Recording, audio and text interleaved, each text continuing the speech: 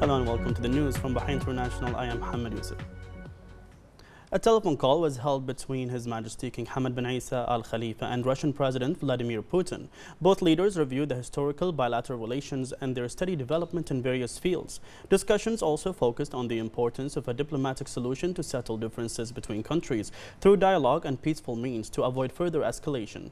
Discussing developments in Ukraine, both leaders emphasized the importance of concerted international efforts to ensure permanent and comprehensive peace and guarantee that interests of all parties and their national security. His Majesty the King underlined the importance to take into consideration providing humanitarian aid and services to civilians in Ukraine and the need for all countries to assume their duty of funding the humanitarian operations announced by the United Nations according to the principles of human solidarity. During the call, cooperation in combating the spread of the coronavirus pandemic was discussed, including taking into account the successful use of Russian vaccines in the kingdom. His Majesty King Hamad bin Isa Al Khalifa received at Safriya Palace His Royal Highness the Crown Prince and Prime Minister Prince Salman bin Hamad Al Khalifa. During the meeting, His Majesty the King was briefed by His Royal Highness the Crown Prince and Prime Minister on the major achievements of completing the implementation of the Royal Directives of providing 40,000 housing units. His Majesty expressed thanks and appreciation to His Royal Highness for completing the directives, hailing His Royal Highness's continuous efforts to achieve further progress and growth through ambitious developmental initiatives and projects, especially housing ones, which aim to provide the essentials of decent living for citizens. His Majesty expressed appreciation for the efforts of the Minister of Housing, the Ministry's staff, and all the government authorities in implementing many housing projects and providing initiatives and solutions in cooperation with the private sector to serve citizens and provide them with decent livelihood. His Majesty affirmed the continuous keenness on providing all citizens' needs and requirements to achieve their aspirations for decent livelihood, especially suitable housing. He affirmed that citizen satisfaction is the main goal that His Majesty is keen on achieving as Bahraini citizens are the main pillar for the development and growth process in the kingdom. His Majesty the King received from His Royal Highness the Crown Prince and Prime Minister a commemorative gift on the occasion of completing the implementation of the Royal Directives of providing 40,000 housing units. His Majesty King Hamad bin Isa Al Khalifa received His Holiness Reverend Michael Lewis, Archbishop of the Anglican Church and the Diocese of Cyprus and the Gulf of the Episcopal Church of the Jerusalem and the rest of the Middle East at Safriya Palace on the occasion of his visit to the kingdom. His Majesty welcomed the guests and praised his efforts in enhancing the values of tolerance and coexistence. His Majesty affirmed that Bahrain is proud of its history of coexistence, bringing together people of different religions and faiths, living together in unity, respecting one another. His Majesty affirmed Bahrain's keenness to instill peace, mutual respect, and keenness to welcome everyone. His Majesty highlighted Bahrain's various initiatives to contribute to enhancing the values of tolerance and dialogue amongst religions, and pointed out to the role of the King Hamad Global Center for Peaceful Coexistence in this regard and its many achievements. His Majesty discussed with his guests a number of issues that contribute to spreading the culture of dialogue and religious tolerance and abiding by the moderation approach. The Reverend expressed thanks and appreciation to His Majesty the King for opening the new Catholic Cathedral in the Kingdom of Bahrain recently, which reflects His Majesty's care and support for coexistence between different religions and sects, ensuring religious freedoms for all faiths, and spreading the values of brotherhood, coexistence, and tolerance among peoples. His Majesty King Hamad bin Isa Al Khalifa ratified and issued Law 7 of 2022 on the environment. His Royal Highness the Crown Prince and Prime Minister Prince Salman bin Hamad Al Khalifa issued Edict 18 of 2022, appointing Mariam Ali Hamad Al Minasir as Director of the Communication Directorate at the Ministry of Health. His Royal Highness also issued Edict 19 of 2022, appointing Isa Muhammad Isa Al Jaban as Director of the Directorate of Criminal Procedures at the Public Prosecution. His Royal Highness issued Edict 20 of 2022, appointing the following directors at the Urban Planning and Development Authority. Noura Muhammad Hassan Buchiri, Director of the Detailed Planning Directorate, Iman Naji Qasim Ali Naji, Director of the Directorate of the Plans Execution. Firas Abbas Amin Abu Director of the Directorate of Infrastructure and Services Planning, and Sheikh Hamad bin Khalid bin Rashid Al Khalifa, Director of the Directorate of Urban Development.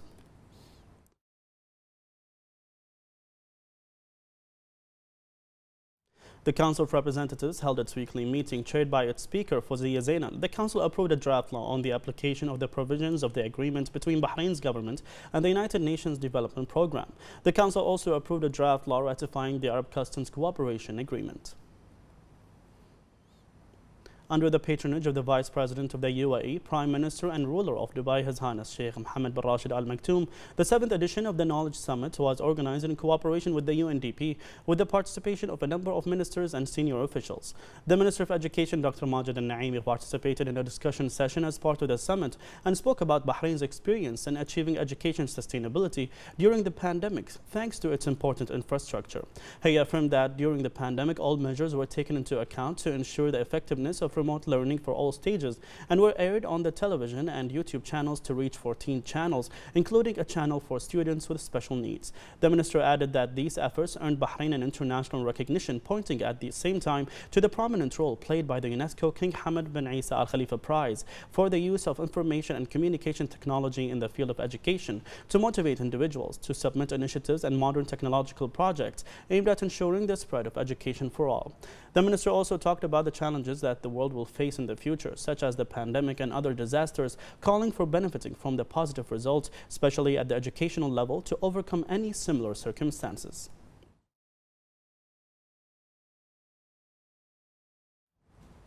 The Minister of Labour and Social Development, Jamil Humaidan, stressed the government's keenness on improving citizens' standards of living. He paid tribute to His Majesty the King for his royal care, hailing the follow-up of His Royal Highness the Crown Prince and Prime Minister.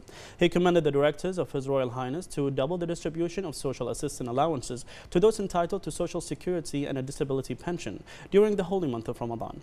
According to figures released by the minister, the move will benefit around 17,000 Bahraini families recipients of social allowances, as well as up to 13,000 persons persons with physical disabilities, with a budget exceeding 6 million Bahraini dinars. Humaidan announced that the payouts would be deposited to the recipients' bank accounts as soon as possible in conjunction with the advent of the holy month of Ramadan.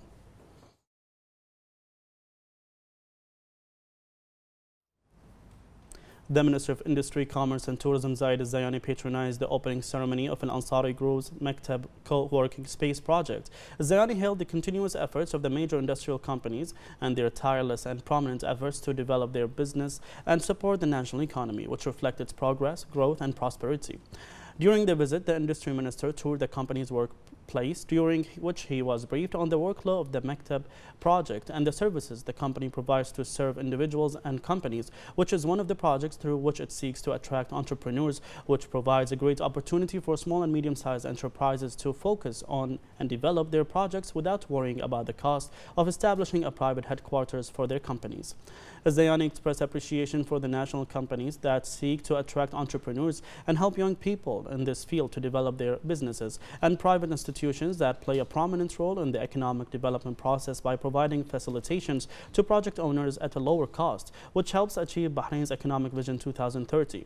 Zayani also affirmed the ministry's keenness on supporting and encouraging these national projects and companies that contribute to the development of the commerce and industry sectors in Bahrain and enhance partnership between the public and private sectors. He commended the role played by the government to support national companies to attract quality projects that reflect positively on the local economy and constitute a breakthrough in regional and global markets.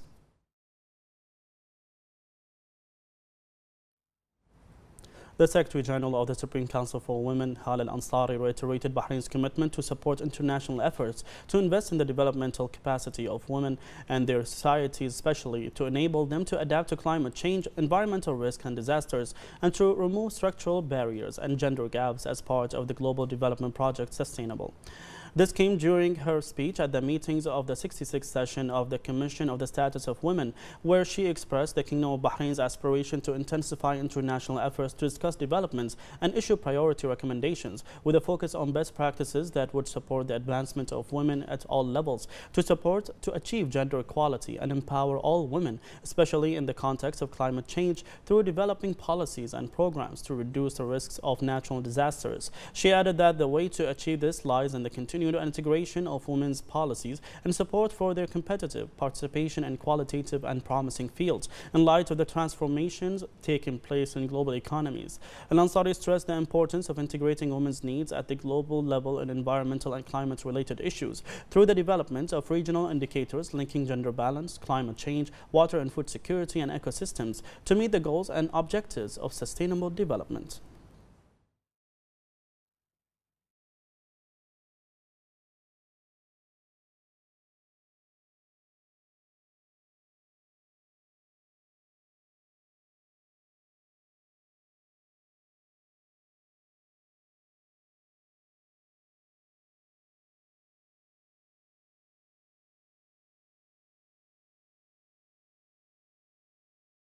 The Consumer Protection Directorate is celebrating the Gulf Consumer Protection Week from the 13th to the 17th of March.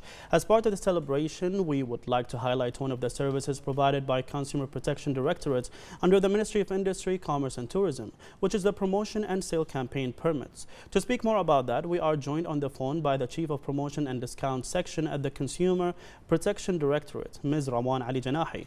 Hello, Ms. Rawan. What role does the Consumer Protection Directorate play with regards to promotional and sale campaigns in Bahrain. Hello, good evening. Uh, the Consumer Protection Directorate has a supervisory role over the market. It monitors the promotional and sale campaigns conducted by all commercial entities across all sectors. Based on Resolution number 51 for the year 2007 regarding discount campaigns and Resolution number 1 for the year 1993 regarding promotional campaigns, the Consumer Protection Directorate uh, also organizes the process through issuing a license to conduct these campaigns Starting a campaign without obtaining a proper license is considered a violation. The application process is a very simple online application. The commercial entity wishing to conduct a promotional or sale campaign may visit the Ministry of Industry, Commerce or Tour and Tourism's website uh, or even the Kingdom of Bahrain's national portal, bahrain.bh, and choose the service promotional and sale campaign request. The applicant must uh, make sure to provide all necessary documents and fulfill all requirements to obtain the permit. These requirements uh, are explained on the website. In addition, the applicant is free to contact the promotion and discount section within the Consumer Protection Directorate through the email promotion underscore inquiries at moic.gov.bh, which is also available on the website. The CPD also coordinates with the Inspection Directorate uh, within the ministry to conduct random visits to commercial entities who are having promotional or sale campaigns and make sure the actual promotion or sale campaign is in accordance with what was applied. Uh, that is why it is important that all commercial shops uh, display their licenses on their shop uh, showcase to avoid violations during these random inspection visits. And Ms. Rawan, what are the types of promotion or sale applications that you receive as a directorate? Uh, obviously, there are many types of campaigns. Sale or discount campaigns are one category. They involve part sale or on selected items or all, all items. You have clearances and bazaars, which are sales campaigns conducted outside the actual shop premises. Uh, sale or discount campaigns are mainly reducing the price of an item for a specific time period. Uh, the prices are calculated based on a range of discount percentages, for example, from 10 to 90, or you see sometimes uh, the poster mentions up to 80 or up to 75. For the promotional campaigns, which are basically all other types of campaigns that don't fall under the sale uh, campaign category, for example, you have the special offers, the flat uh, discount rate, uh, buy one, get one, buy two, get one, free gifts or vouchers. You have the scratch and win campaigns, open and win campaigns, uh, raffle draws on prizes such as cars, electronics, cash, and other, other prizes. And you have um, the other types. Uh, they involve, for example, spin the wheel competitions that involve voting or judging panel, or any other new concept or mechanism created by a commercial entity. Ms. Rawan, we wish your directorate the best of luck. Chief of Promotion and Discount Section at the Consumer Protection Directorate, Ms. Rawan Ali Janahi, thank you for joining us.